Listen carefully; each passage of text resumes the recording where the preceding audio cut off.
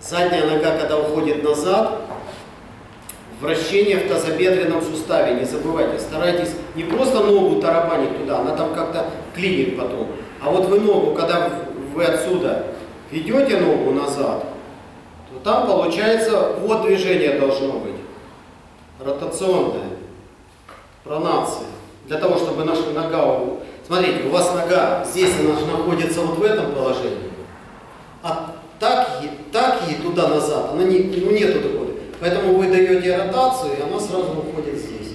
Очень корректно. Раз ротацию. На пронацию носочек внутрь.